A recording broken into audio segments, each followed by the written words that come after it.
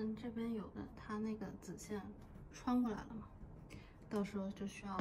再调整，把它们再瞪回原位，把它们在这边嘛，有的就是子线穿穿过来了，之后就需要把它们再调回原位，对，之后要再修理修理。嗯，不过还可以，说明紫这个角色打的这个